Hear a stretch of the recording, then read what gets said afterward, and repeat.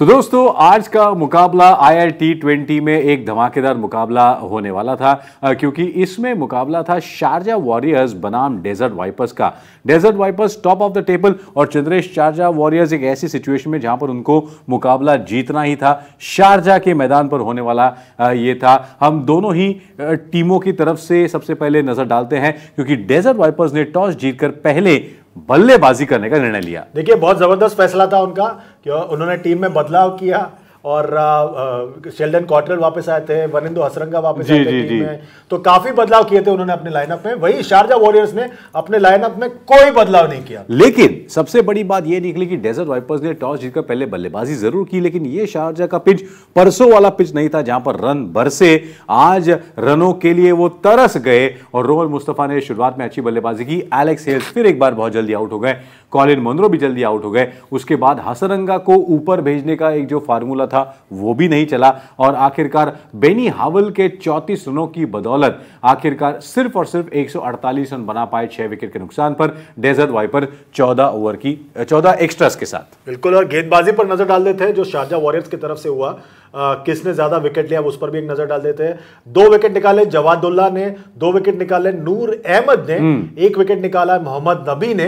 ऐसा लग रहा था कि उन्होंने पकड़ बना के रखी हुई और ये लक्ष्य जो उनके सामने उनको मिला था, ये एक लक्ष्य है जो उसे पार कर पाएँगे। उनके सामने एक सौ उनचास रनों का लक्ष्य था शारजा वॉरियर्स के पास। ऐसा लग रहा था कि उनके पास टॉम कोलर कैडमोर और बाकी जो बल्लेबाज हैं तो उससे कोई असरदार बल्लेबाजी होगी, पर देखे नहीं हुआ। क्योंकि सबसे बड़ी बात है कि शारजा वॉरियर्स को पावर प्ले में कोई मोमेंटम ही नहीं मिला और उस वजह से गुरबाज और कैडमोर जल्दी आउट होने के बाद हमने ये देखा कि जो डेनली जो नंबर तीन पर आते हैं अमूमन वो नहीं आए। स्टॉइनिस और एडम होजे को ऊपर भेजा गया। उनके बीच में एक छोटी पार्टनरशिप हुई लेकिन हसरंगा ने लगातार विकेट पर विकेट लेकर पूरी की पूरी जो कमर है वो तोड़ दी शारजा वॉरियर्स की और आखिरकार डेजर्ट वाइपर्स ये मुकाबला जीत गए।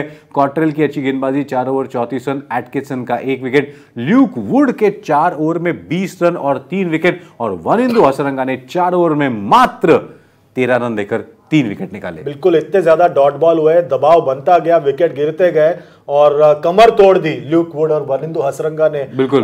शारजा वॉरियर्स की बल्लेबाजी क्रम का। और देखिए एक नज़र डाल देते हैं डेजर्ट वाइपर्स ने 148 बनाया छह विकेट के नुकसान पर। बेनी ओवल ने सर्वाधिक 34 बनाया नाबाद रोहन मुस्तफ़ा ने 31 दो विकेट निकाले जवादुल्ला दो विकेट निकाले नूर अहमद।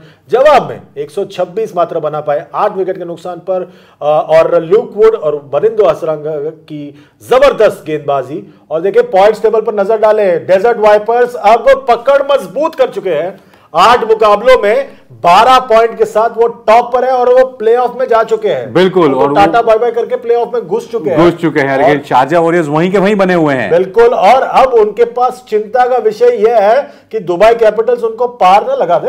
Exactly exactly. तो टॉप फोर क्वालिफाई करेंगे तो शारजा वॉरियर्स के लिए ये हार जो है एक बहुत ही गलत टाइम पर आई है इस पूरे टूर्नामेंट में। कहीं उनका टिकट जो है वो छूट ना जाए क्वालिफिकेशन का। पर आपका टिकट आपका टिकट यही। तो बना रहेगा। लेकिन हाँ, कल का मुकाबला। बहुत ज़बरदस्त मुकाबला है। कल एक बार फिर उस पर भी नज़र डाल देंगे कल का मुकाबला है।